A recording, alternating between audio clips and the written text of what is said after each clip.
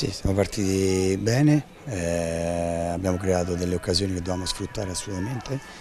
E bene, la squadra stava, teneva bene il campo contro una squadra forte, una squadra che sapevamo annovera elementi importanti.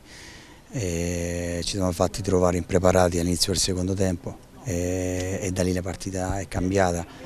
E siamo stati un po' frettolosi, un po' nervosi, ovviamente il momento che stiamo passando ha portato a tutto ciò.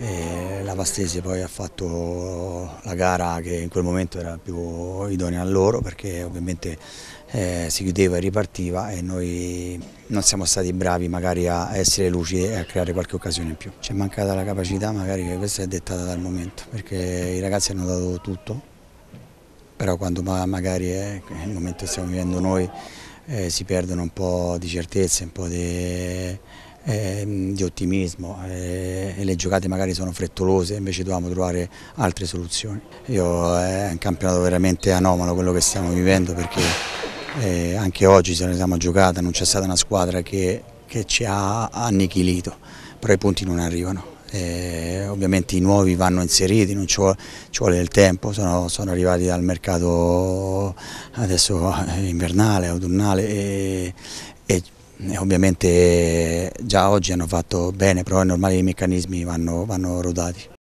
Presidente, era fondamentale partire con una vittoria in questo nuovo anno? Ma è fondamentale eh, direi di più perché abbiamo fatto un giorno di andata che nessuno se l'aspettava, dopo tante, tante belle promesse, premesse che ci avevamo, è normale, il calcio è questo. Abbiamo resettato l'ultimo mese col direttore, c'è ancora da migliorare, però oggi faccio i complimenti ai ragazzi perché è stata una vittoria proprio con il cuore, proprio voluta con il cuore.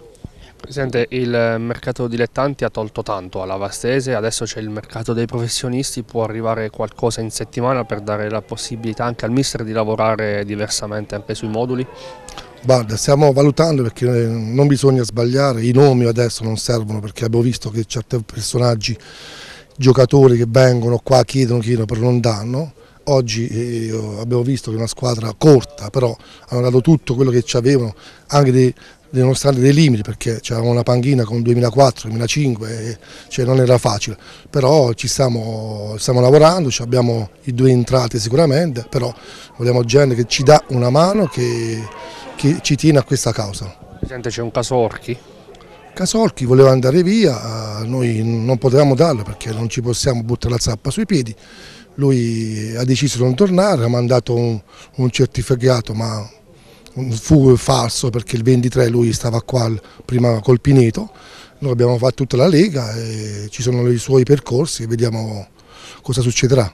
Una vittoria sicuramente dedicata ai tifosi che riabbraccerete il 22 all'Aragona? Ai tifosi, quelli che amano la Vastese, praticamente, sottolineiamo perché qua c'è un dato di fatto che la società sono otto anni che sta qua, purtroppo ci sono ancora qualcuno che ha ancora dei dubbi, però eh, piano piano li facciamo levare questi dubbi. Sì, una vittoria dedicata ai veri tifosi, eh, hanno sofferto con noi, e speriamo che il 22 ma il 99% prima questo campo, faremo una bella festa e, e vediamo di dare qualche soddisfazione ai tifosi.